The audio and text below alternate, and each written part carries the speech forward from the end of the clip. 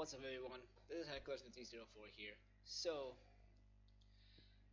if you ever wondering that you are in the RPG Maker and then you want to switch character, the first character, just like I right here, like this Harold, you want to switch character into um someone else, like Threat, Thurish, like that girl right here. As you can see, I switch character. And now I play with as the other person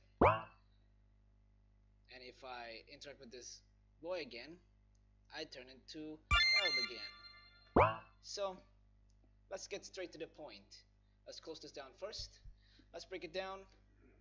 So what am I doing here is this, just this. Change party member. So you add the party member, you add the specific area that you want to change as to, and add them as a party member.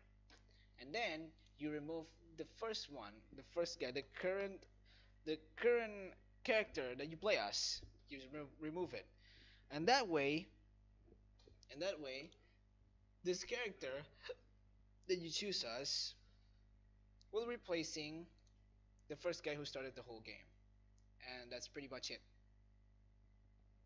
Oh, where's my mouse? Uh, I said that's pretty much it.